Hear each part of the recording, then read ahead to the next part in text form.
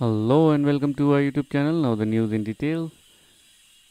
The Indian Army repulsed a major attack in Jammu and Kashmir Rajouri district this morning. A soldier was injured in the pre-dawn attack at an army camp, suggest initial reports.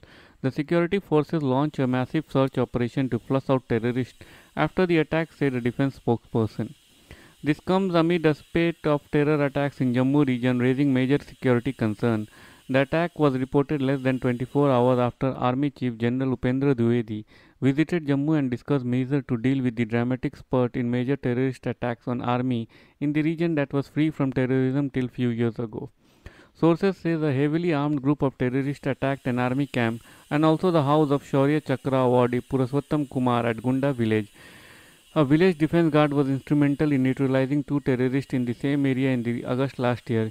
He was recently awarded Shaurya Chakra for his bravery by President Draupadi Murmu. While a heavy retaliation by the army has forced attackers to flee, this is another audacious attack on the army region.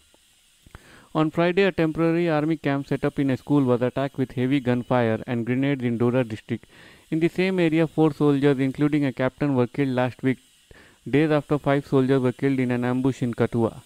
Army had already deployed more troops including special forces commandos in the Jammu region to fight highly trained terrorists who have infested the region and carry out attack after attack on the army.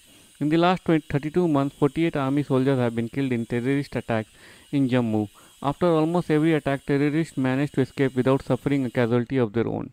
Last week, Prime Minister chaired meeting of the Cabinet Committee on a Security on the rise in terrorist attack in Jammu. Earlier, Prime Minister had asked Army to deploy full spectrum of its anti-terrorist capabilities to eliminate terrorists from the Jammu region.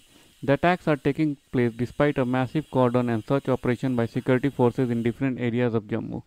That's the end of the story. If you like the content of our video, please do hit the subscribe button, share it with your families and friends, and do not forget to post a suggestion in the comment section below. Thank you. Have a great day. Bye bye.